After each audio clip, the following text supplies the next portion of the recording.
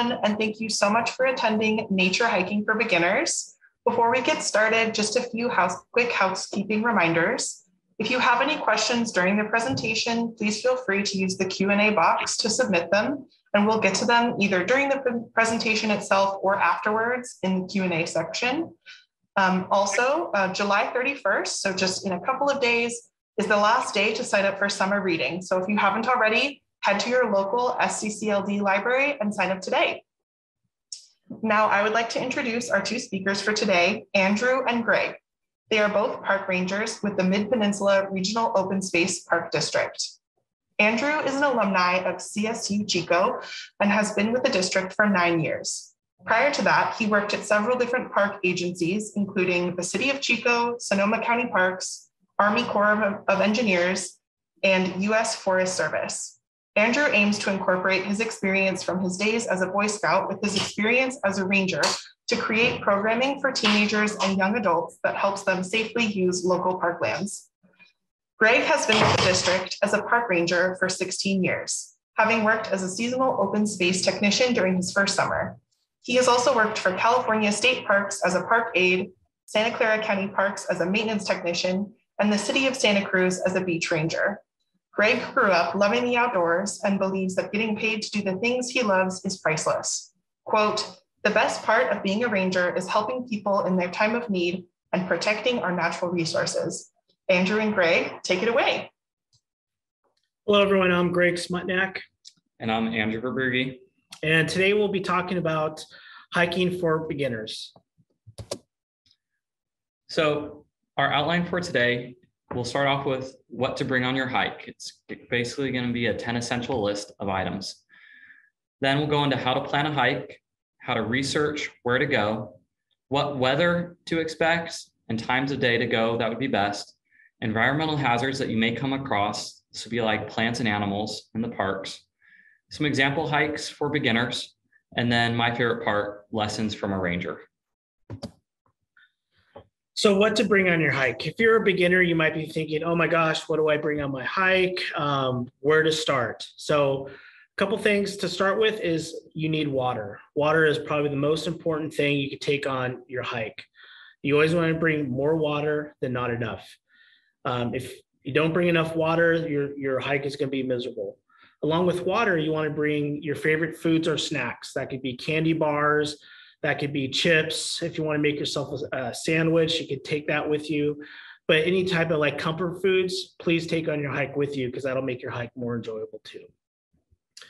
First aid is pretty important. So you want to personalize your first aid kit.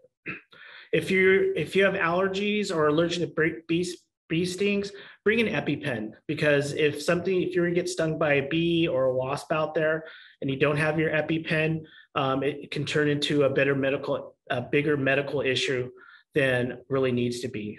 If you're diabetic, bring your insulin or something sweet. So if you feel that coming on, you have something to remedy that uh, your di- diabetic emergency. And also, if you have asthma, bring your inhaler because the last thing you want is to be out in the middle of the trail uh, somewhere far from your car and you have an asthma attack. So it's really important to have any type of um, personal remedies that you need for being out on a hike. As far as hygiene is concerned, sunscreen is always a big one. This, the sun is very strong, and if you're out on a trail that's open, um, you need to put that sunscreen on so you don't get sunburned, especially your arms, your face, and your neck. Insect repellent is another big one because certain times of the day, in the morning or early evening, the mosquitoes like to come out. And nothing is worse than hiking down a trail and you're swatting your skin all the time because the mosquitoes are landing on you. And plus, you don't want to get home. And then we all know insect bites, they're itchy and they're just annoying. Toiletries is another big one. If you have to go, you got to go. So, toilet paper, bring that along. Um, if you do have to go, we just ask that you go 50 feet from the trail. If you have a little trowel, you can dig yourself a, a, little hole, or if you don't, you can always use a stick or your boot to dig a hole.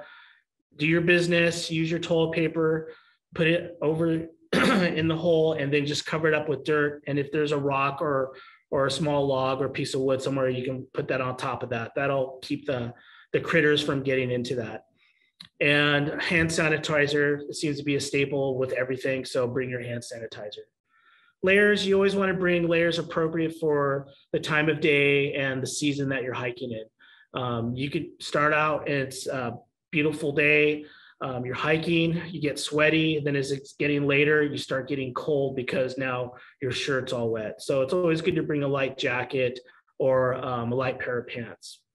Now to tie all that in is a backpack and you don't need anything fancy like $150 backpack from REI. You could use your, your school backpack and that's put everything in that you think you'll need on your hike and you'll be all set to go. Another one is your cell phone. Everybody has their cell phone, but a really important thing is make sure your cell phone is fully charged before you go on your hike. Um, bring an extra charger and cord because people like to use their cell phones as flashlights if you happen to be hiking at night because you're running late. And if you're using your cell phone as a flashlight, that'll kill the battery really quick. Along with people like to take videos and, and pictures. So that's kind of like really important just make sure your phone is charged. So if something does happen, you get lost or there's a medical emergency, you can make that important phone call. And last but not least, I like to tell people carry a whistle with you. If something happens where you're lost or you get hurt, you can only yell for help for a certain amount of time before your voice starts to go hoarse. But if you have a whistle, you can blow that thing all night long, and the whistle sound will actually carry a lot further than your voice will. Anything you want to add, Andrew? I just want to throw in there with that sunscreen. If you do go all day or for several hours, make sure that you're applying sunscreen several times. Um, in my eight hour ranger shift, I apply sunscreen three to four times a day on these really sunny days out here. Um, and then with the cell phone, we'll talk about it a lot more later, but cell phones are really handy for downloading maps these days. Um, they have GPSs on them so that you can find your route while you're hiking. Um, and then the cell phones, um, you know, you've always got it there in case you need to make a phone call for some sort of emergency while you're out in the backcountry. Um, before we move on to the next slide, we do have a question from the audience. Yeah. Does insect repellent work also on non-biting insects like canyon flies? It, it should um, protect you against any type of flying insects. And I also forgot to mention um, it protects you from ticks too, from crawling up uh, on your pant leg or your legs. And I, would be more concerned about the ticks than anything else, just with uh, Lyme disease that's prevalent in uh, the Bay Area and in the Santa Cruz Mountains.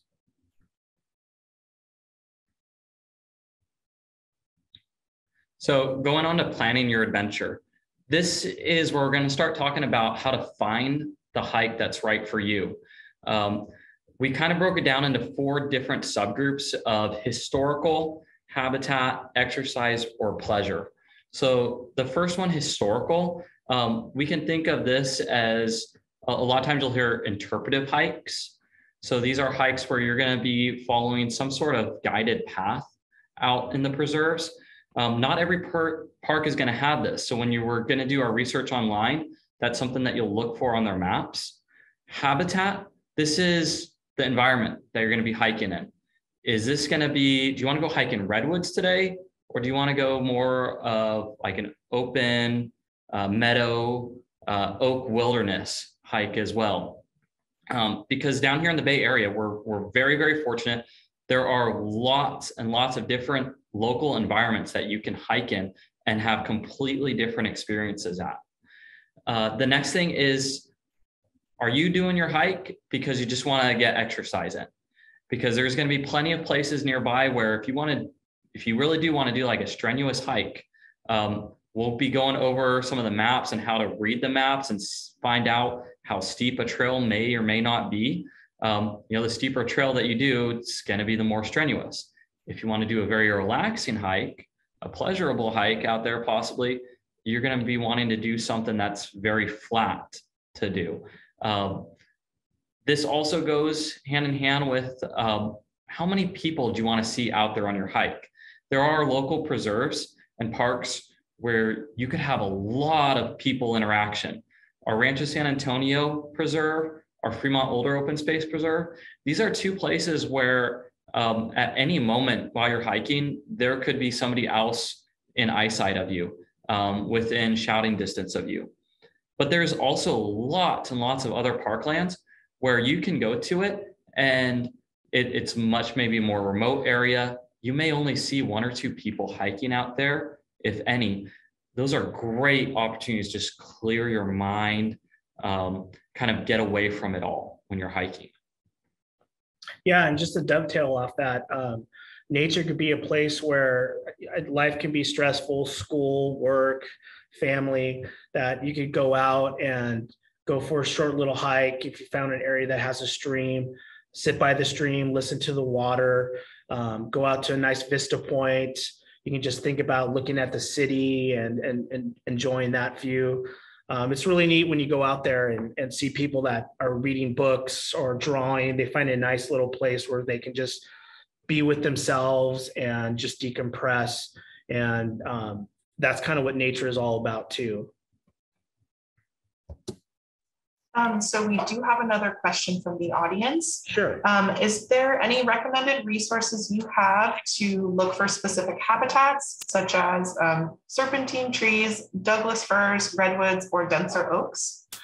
We do, and we'll get to that um, later on in the presentation uh, when we show, um, when we also talk about how to research uh, your, your, hike or adventure um, through different uh, agency websites.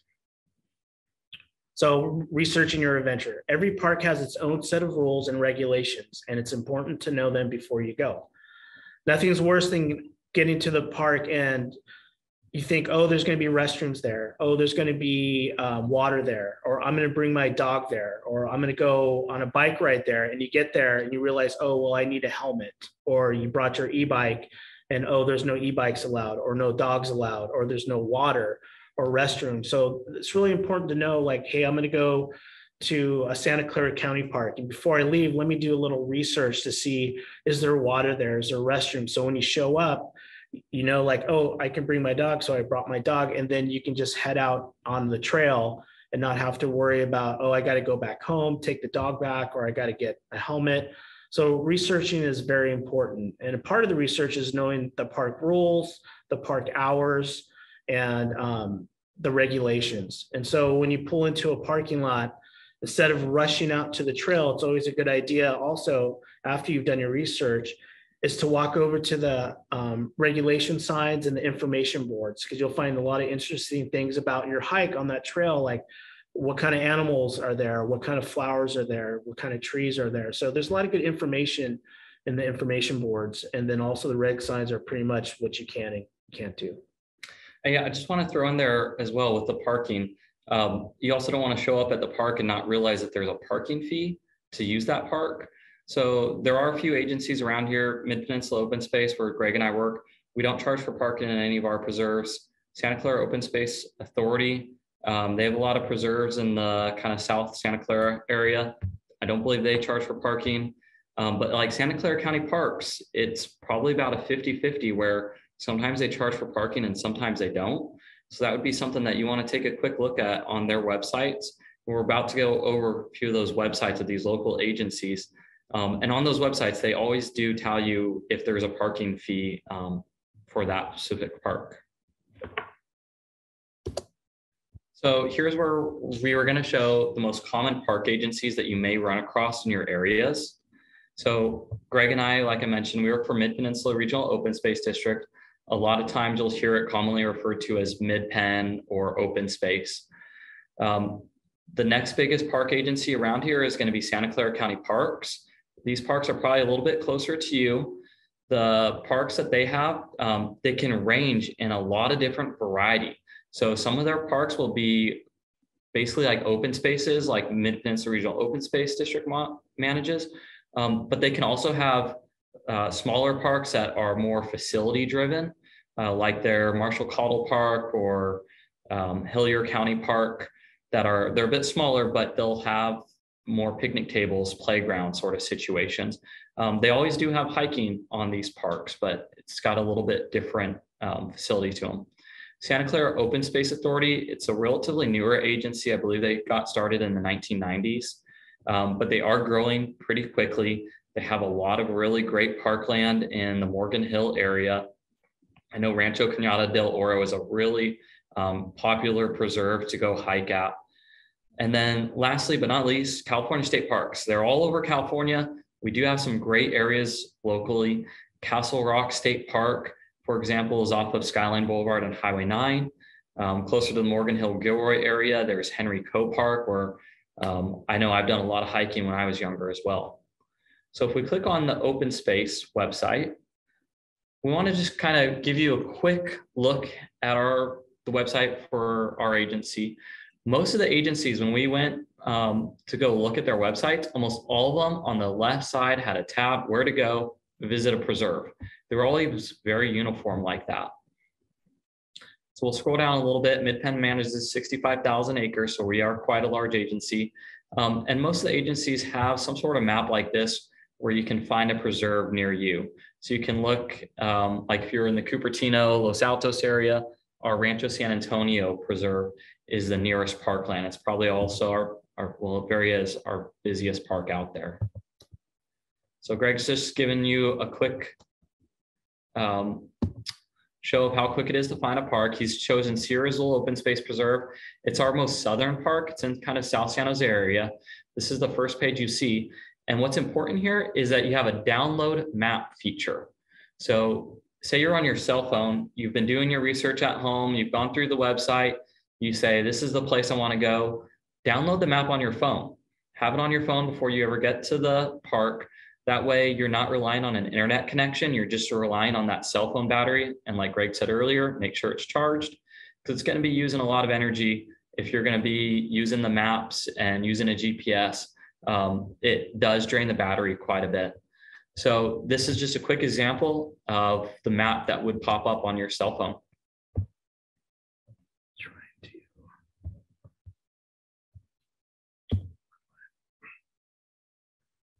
So while we're looking at the map right here, you can see on it um, how it'll start having various symbols like dogs or no dogs in areas. Um, some of those rules that Greg was mentioning earlier today.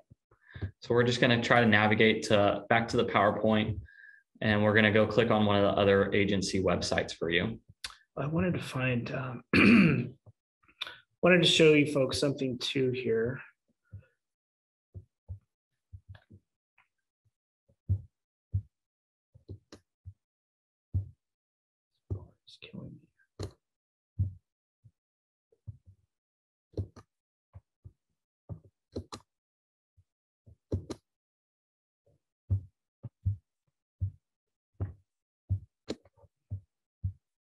So right here for Sierra Azul, it gives our hours, one half hour before sunrise till a half hour for sunset. Um, it gives you uh, also like what you would find, the type of hiking, uh, the, the amount of elevation that you would climb. Um, talks about the varied landscape offers visitors views of serpentine grasslands, rocky and steep chaparral, dense stands of bay trees, shaded oak woodland forest. So it gives you a description of the different types of um, um, topography and uh, what type of um, environment you, will be in. So, like the per- question that person had is when you go to the park agency's websites, usually they have a description of what you'll see on your hike, or at least in the area. Um, it also talks about what animals that you might see there too. So, I just wanted to show that really quick.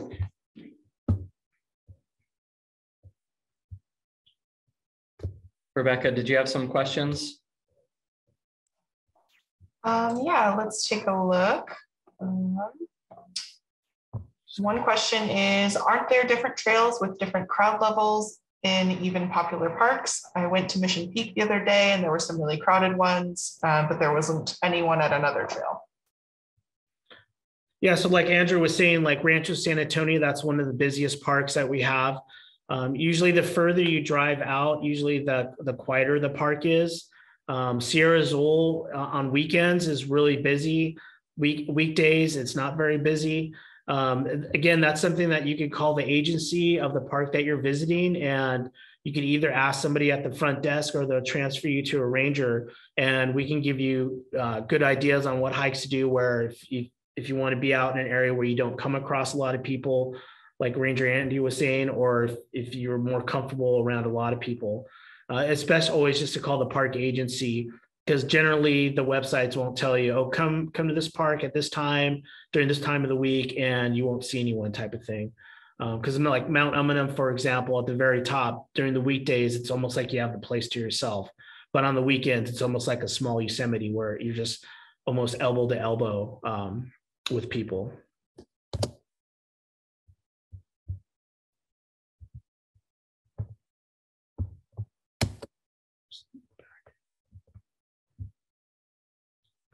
So um, we're just going to talk about topo maps really quick and how to read them.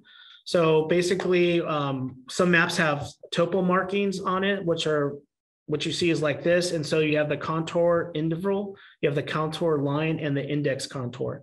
So basically, um, the first line on the bottom, let's just say that's zero feet. And the next line up here would be 100 feet. So in between each one of these little intervals is 10 feet. So the wider the intervals are, the smoother the trail is and less of an incline. The steeper or closer the lines are means that it's very steep. So basically, this is like a two-dimensional view of topo lines, but over to the left here is what this actually looks like. So if you're hiking along, you see a trail that hikes along the trail like this, you notice you're just staying in one topo line. But if you decided to go straight up, by seeing these lines and how closely they get to it, it's like you're almost climbing up a, a steep cliff. So it, it's a really quick, you know, um, review of this, but um, that's what topo lines are for the most part.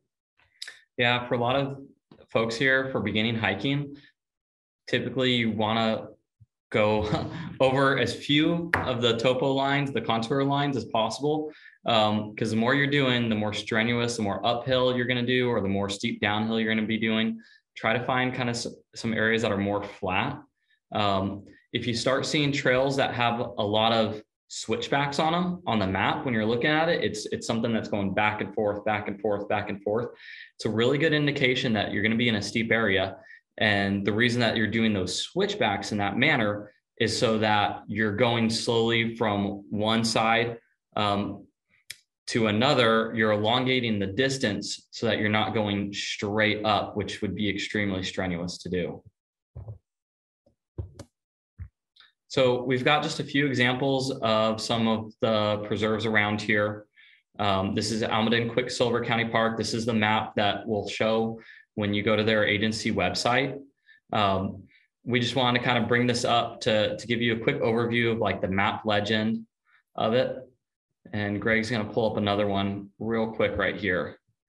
Um, this is going to be Cañada del Oro. Uh, we like this map a little bit better because you can really see those contour lines of it.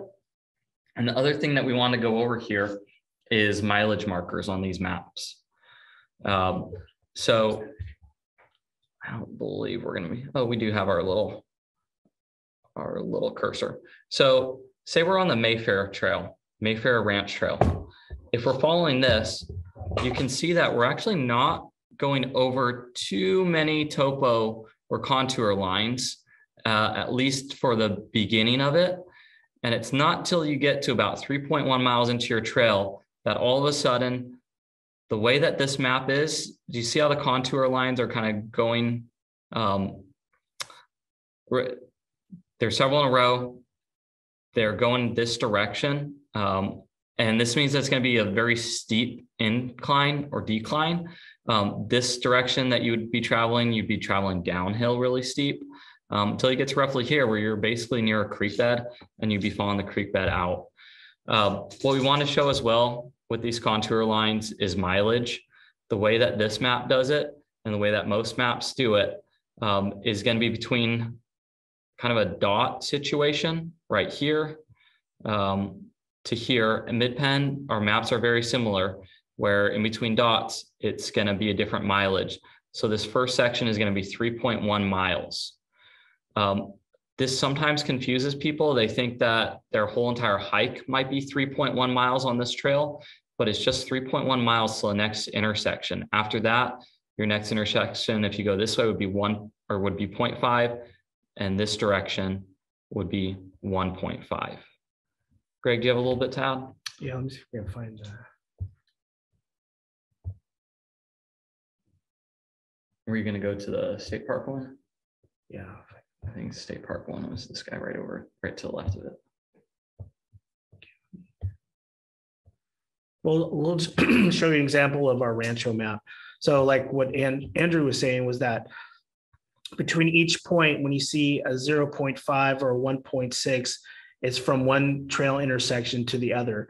So if you think, oh, I'm going to do a three mile hike, you don't want to add up three miles one way because that's going to be a total of six miles. So you want to add up the mileage. So where you start and where you end is going to be a total of three miles or four miles or, or just even a mile.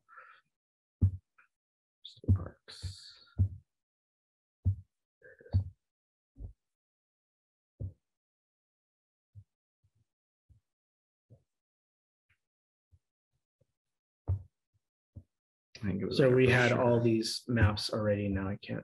I think it was down by bush brochures. Okay. So we're at the state park website now. Um, and we're gonna pull up one of their maps, because one of the unique things that we found on one of the state park maps was how there were no contour lines on the map. Um, and I remember growing up here locally, I happened to hike at this one park. Um, I guess Greg's gonna pull up Castle Rock State Park, but earlier we were looking at one for Henry Coe State Park, which is in kind of the Morgan Hill, uh, Gilroy area. And the hike that we did, we decided to start in the early afternoon um, because we were only going to do somewhere around six to eight miles. And we were thinking ourselves, okay, six to eight miles, we can do that in probably two to three hours total. Um, we got our map, you know, found found that it was going to be six to eight miles. Uh, we started our hike, and because there were no contour lines on it, we didn't realize that we were going to be hiking an extremely uh, steep terrain. So what we thought would be two to three hours took us four to five hours. We were completely exhausted. We were extremely low on water. Um, and it kind of showed us how ill prepared we were that day to hike. Now, this map of Castle Rock State Park, uh, quite a bit different than the one at Henry Coe, where you can see how steep the terrain is uh, in this area.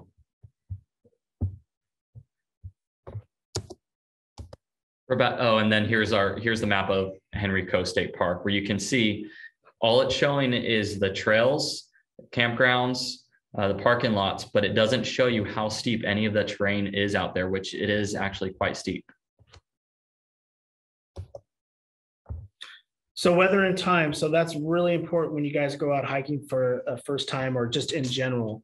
Um, you always want to check the weather. What's the weather going to be like? If it's going to be a really hot day, well, you're going to want to bring light clothing, sunscreen, hat, water again, and you want to take breaks in the shade, uh, more breaks than uh, you think you probably need, because you want to watch out for over, for overheating in yourself and others. Um, I can share a little experience with you guys. So, you know, park rangers, you think, oh, hey, these guys are in the out outside all the time. They know what they're doing. Um, they're always prepared. Well, um, one summer it was over 100 degrees and there was a vehicle parked in a closed area. And so I went out looking for them and I just brought one bottle of water because I, was, I thought, well, I'm not going to be out there for very long. What ended up happening was is that I started following a little creek and then I'm like, well, I'll go a little further. I'll go a little further. And I kept on going probably about two miles in. And by two miles, um, I drank all my water. Uh, I noticed that I was starting to develop a little heat stress. I stopped sweating. My my face was getting red, and so I turned around, came back another mile, and I had to stop because I couldn't go any further because I felt the symptoms getting worse. So I had to call for other rangers, and in turn they called uh, for fire and ambulance, and they actually had to come out to me, and uh, I had to take. Um, I was given an IV bag full of liquid um, right then and there on that spot. And that was enough to make me feel a little better to hike out to uh, where my truck was, where I had to do, had to get another IV bag of, uh, of, of liquid. So it's, it's really important. You think, oh, I'm just going to go on a, a short hike and I'm just going to bring a little bottle of water with me. You should always bring more water than you think because you could be out there thinking, oh, I can go a little further. Oh, I can go a little further. And then the next thing you know, you're in trouble. So that's why water is so important. Even in the wintertime, it's just an important thing to carry with you. Um, in the cold, you want to make sure you bring enough layers to keep you warm. Um, winter caps, um, any type of shoes really are fine, but if they get wet, um, just remember your feet are going to get cold. And always bring snacks with you too, because even when it's cold out and you're out there, your body needs that nourishment uh, to, to um, stay warm and burn those calories. If it's rainy and windy, again, you just dress appropriately to that. It's always important to um, bring an extra change of clothes in the car because you're going to be cold, you're going to be wet, and then you don't want to go in your car cold and wet. And you turn on that heater, and the next thing you know, all your windows are fogging up because all the condensation from you being wet. So bring a change of clothes, go in the restroom, change into something nice and dry, and the ride home will be more comfortable. I just want to throw in there on when you're hiking and it's getting hot, taking those breaks in the shade. Um, try to time them out put your timer, your cell phone, you got it with you. Um, put a timer on for like 15 minutes to 30 minutes, depending on how you're feeling that day and how hot it is. Um, your cell phone timer goes off. You stop at the next spot where there's shade, drink just a little bit of water, take a minute, look around your surroundings, take everything in, uh, check on your partner that's with you, and then put that timer back on and, and head back out. Um, by doing something like that, you're going to keep yourself hydrated out there. You'll keep yourself full of energy to keep going and hike further. Yeah, and another thing with heat, you know, people love to hike with their dogs, but I can't tell you folks how many, how many times that we've had medical calls for dogs because people think, oh, it's, you know, they if I can handle the heat, the dog can handle the heat. Well, dogs can't handle um, heat or get rid of heat as much as humans can. Um, the way they cool themselves off is through panting and um, their paws. So that's how escape, heat escapes that way too. So if it's 90 degrees or more and you want to go on a long hike with the dog, just remember that the dog can't really cool himself when it's hot like that. Uh, and unfortunately, we've lost dogs um, because they've because of the heat stress was so bad that um, their bodies couldn't take it. So it's pretty sad. So just remember, you know, that's your little buddy, your friend that, you know, take him into consideration and hike on mild days with him and not on super hot days because that's the last thing you want is to be out there and then your dog have some type of medical emergency.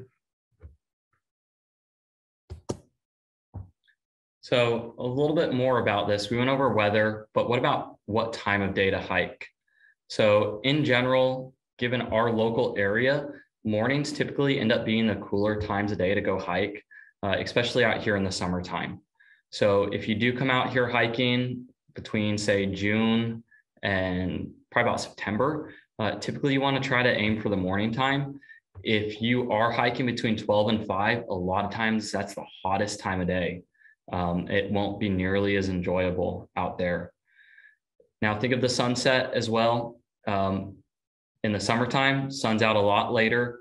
Uh, gets to be about 8:30 is kind of sunset a lot of times around this area in the midsummer. Um, but during the wintertime, it could be 5:30, 6 o'clock. And a lot of the local parks, there's rules about when you can't be there, uh, which is typically either sunset or half hour after sunset. So even though you were out there hiking at 8:30 in the summertime, yeah, you can't be out there at 8:30 in the dead of winter time at a lot of the places locally to us. Um, now, there was a question earlier about the busiest. Um, it, it, was a Mission Peak question about it was really busy over there and hiking, and there was another trail though that didn't have very many folks on it. Um, most folks know that it's going to be as well. It's going to be busier in the morning time at most of these parks too. Um, so finding parking a lot of times ends up being the most difficult thing uh, to start your hike in general, because a lot of the parks only have a limited number of space. We've got so many people here in the Bay Area, everybody's fighting for a parking spot. I highly recommend that if you're going on a weekend day to get to that park early in the morning or try to time it where it's more so in the evening, sometime after that, um, that, that five o'clock, that hottest hottest part of the day, um, where it's going to be a little bit cooler outside. Typically, that late in the afternoon, there is going to be less people. Rebecca, is there some questions that you'd like us to go over before we continue? Uh, we can save them for the end. You guys go ahead.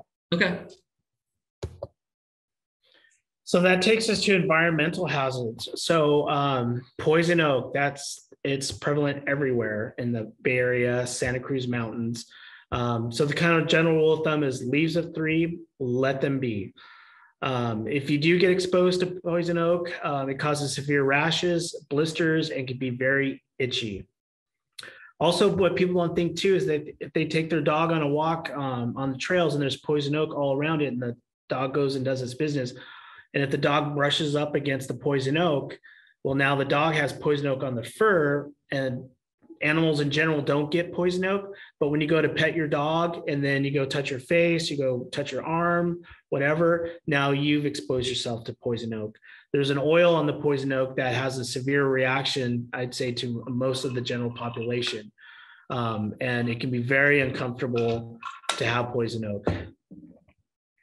Uh, adding that in with the poison oak, the, the photo that we have here, this is what poison oak typically looks like um, in the springtime. Uh, it's uh, it's a brighter greenish color, but it's not always like that. You actually do get poison oak that uh, is going to be a reddish color. Um, this is when it's it's late summer. Uh, it's uh, it starts to change its color, and then in the dead of winter, sometimes poison oak will even drop all the leaves, and it'll just be vines out there. And you can still get poison oak from the vines. All of these stages, every one of these stages, from it being fresh to it being um, this reddish, where it's kind of starting to die off, um, to the vines will have poison oak on them. So if you do get poison oak on you, or you think you may be exposed to poison oak, best thing right after your hike, head home, take a cool shower. Um, typically, taking a cooler shower uh, with soap and water will be able to get the poison oak off of you. Really hot showers um, will actually open up the pores of your skin. The poison oak can get in there better, um, and it's going to end up lasting longer. It's going to be a lot more miserable. Uh, with the poison oak, if you don't wash it off right away, um, you can have some other exposures with it where it starts getting on your clothes or your bed sheets, where then you may two or three days from then um, have to end up changing bed sheets, washing different clothes that you didn't think you were going to have to wash um, because now they have poison oak on them. Yeah, and if you realize you didn't touch any poison oak, but you have it, um, and you had your uh, dog with you, then it's a good idea to wash your dog too. Yes, wash the dog when you get home. Rattlesnakes. So um, we have a few different snakes around this area, but the rattlesnake is the only one that's going to be poisonous out here. The great thing about poison, or the great thing about rattlesnakes, is they let you know where they are. So I've never run into a situation where I accidentally almost stepped on a rattlesnake because probably about three to four feet before you ever get to that rattlesnake, they let you know where they are. It's a very unique, almost buzzing of a rattle noise. Um, it instinctually, I would have to say, you'd basically stop. Um, that's what I've seen a lot. Every time somebody's been near me and you hear a rattlesnake, everybody just kind of freezes. Take a moment to collect yourself and slowly back away. Um, typically, the rattlesnake might be sunbathing on a path that's in front of you. Maybe it blended in and kind of looked like a stick. Um, give the rattlesnake some space. If it's a really, really wide trail, take as far away spot to walk around it as possible. If not, just walk a little ways away from it, back up, take a break, drink some water, um, let the snake move on on its own. The, the snakes will move on if you're in the area because they don't we're way too big for a snake to eat. So they're not gonna, they don't want to bite us to eat us like a mouse, where they'll just hang out there for the mouse. We're way bigger than them. They don't want to be near us, and they should mosey along their way very shortly. Yeah, like uh, Andrew said, you just don't want to panic. You just want to stop, listen for the sound, look around to see where the sound is coming from, and then you can um, uh, do what you need to do to get away from the snake. Uh, again, the snake doesn't really want to bite us, doesn't want to harm us. He's just warning us to know that, hey, I'm right here. You need to back off. And that's why it's a good reason, too, to have your dog on a leash at all times. Because if your dog's out in front of you and you can't pull him back because you hear that sound of the rattlesnake, unfortunately, your dog can get bit. And usually it's a terminal for, for the dogs. So that's another good reason why you should always have your dog on leash for his protection.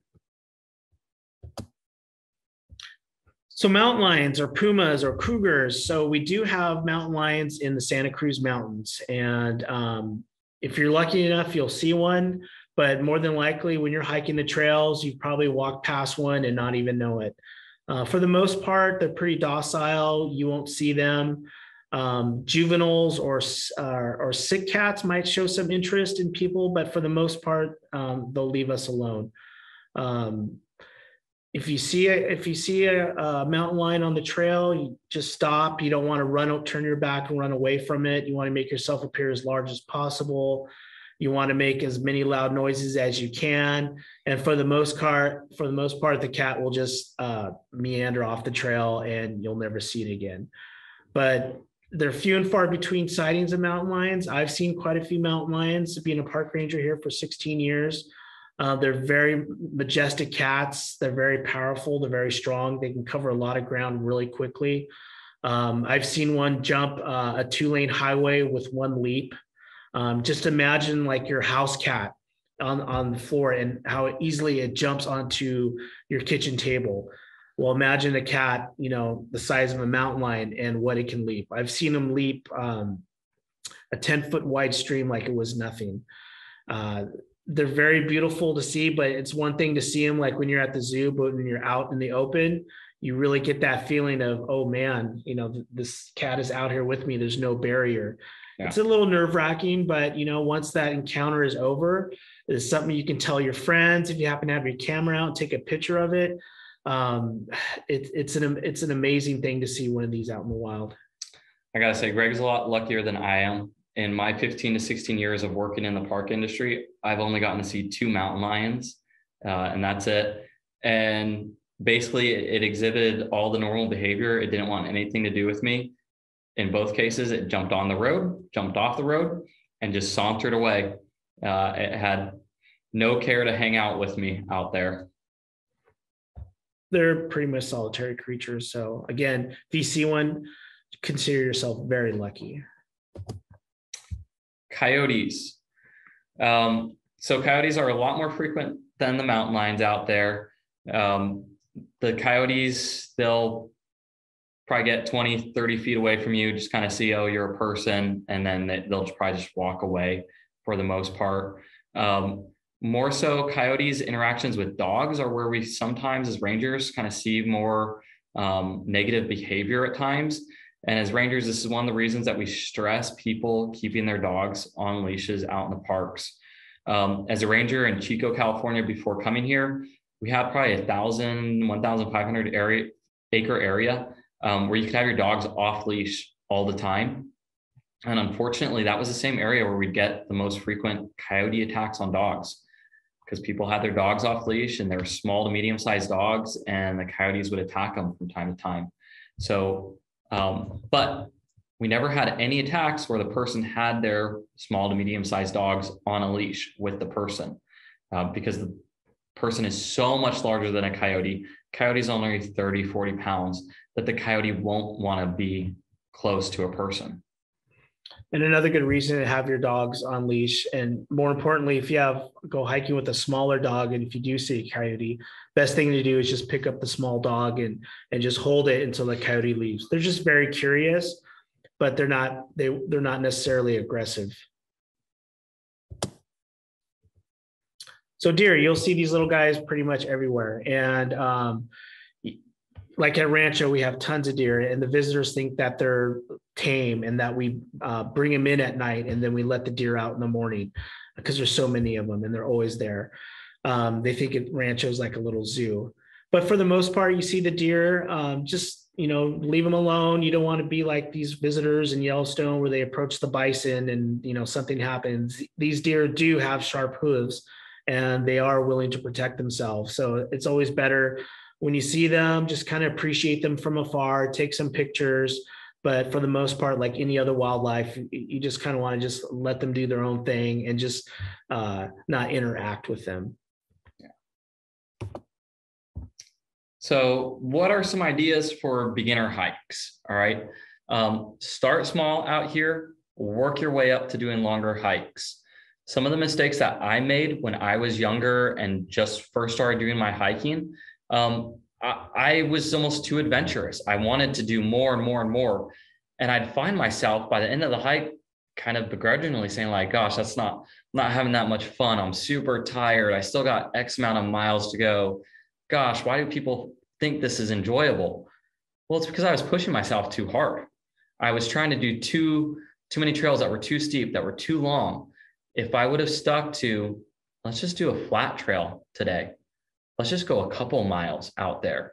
Um, let's find a nice loop that is five to six miles.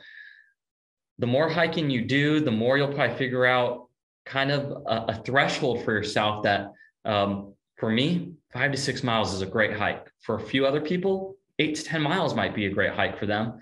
And other folks, like my parents, two to four miles. They love it.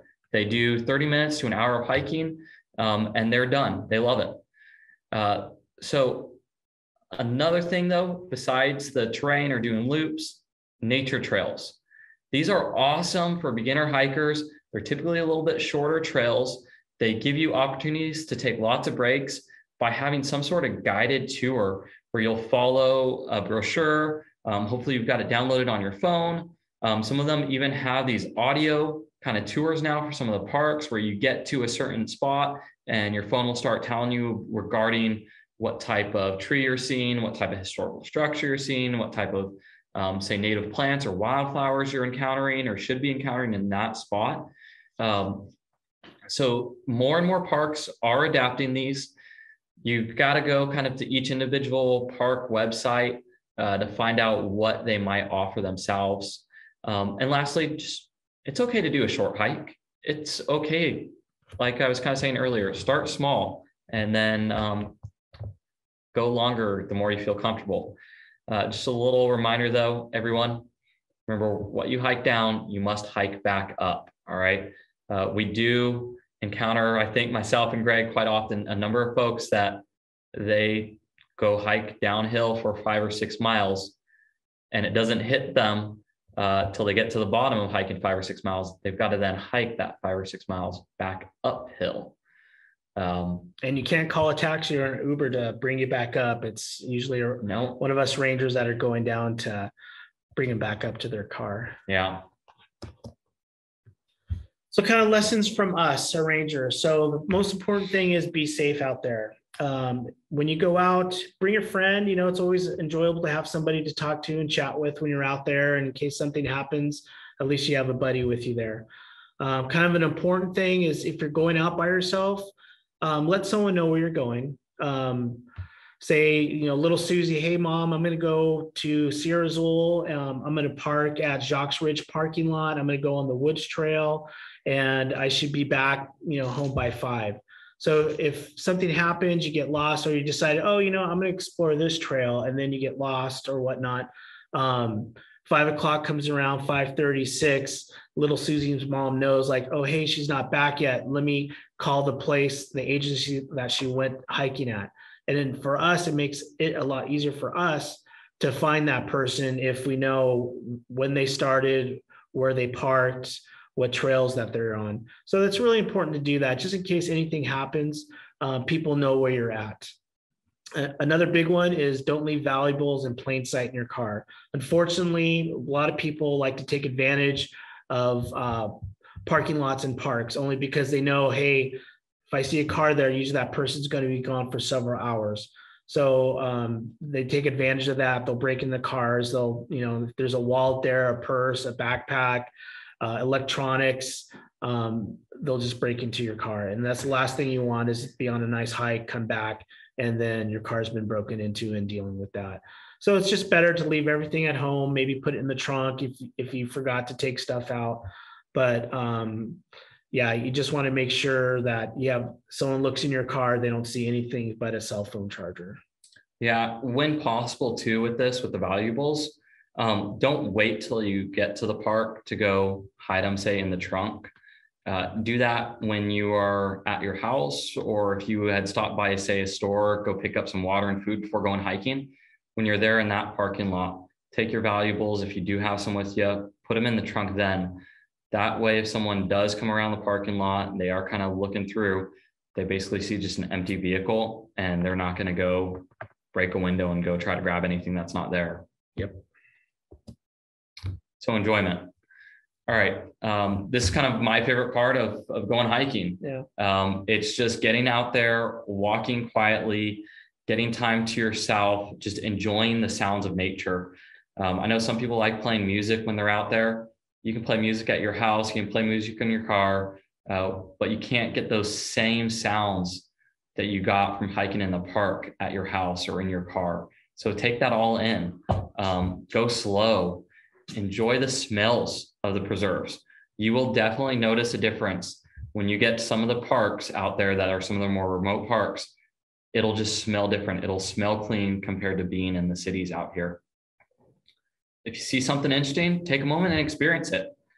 Uh, if you're hiking the same trail four or five times in a row, I guarantee you that the fifth or sixth time, there's something unique that you're going to come across, something that you won't have seen the last time you were there. Maybe it's always been there, but you'll just notice it this one this time. Um, take those moments in, take those frequent breaks that you can look around you out here. Um, and remember, as a park ranger from us, take only memories, leave only footprints. Yeah, if, if you're snacking on stuff, eating, drinking, just make sure you take it with you. Um, the, the, parks are for you guys to enjoy, and nothing's worse than walking down a trail and, and all you see is trash.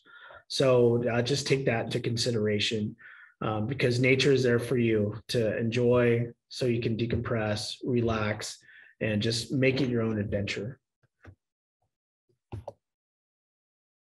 All right, that's it. Any questions? We definitely have a lot of questions. Um, before we dive into our last questions for this program, I do want to offer, um, because there are so many questions and we're not going to be able to answer all of them, um, if you have um, any that you'd like to directly ask the park rangers, feel free to email them at info at openspace.org and uh, someone will get back to you with an answer for your question. Um, so just to kick us off, um, we have a question from Kat.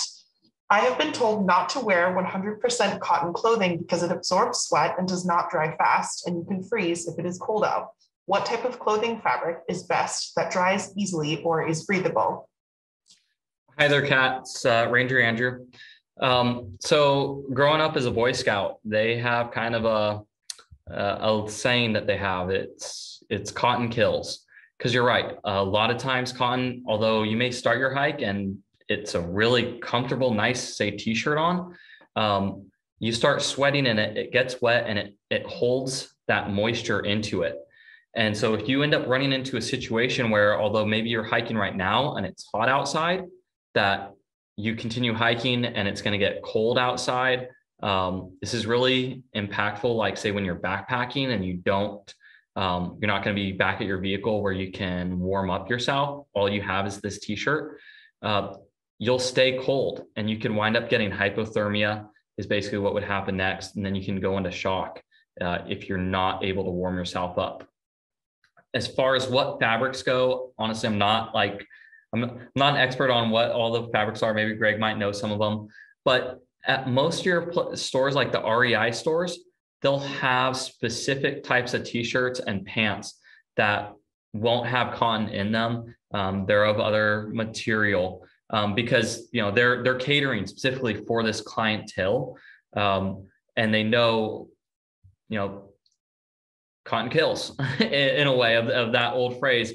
Um, so everything's are they're made of the materials that will wick the moisture away mm-hmm. that will dry out a lot quicker. Um, it's also why we we encourage people hiking in layers um, so that if something does get wet, it can get removed and you can get something else on.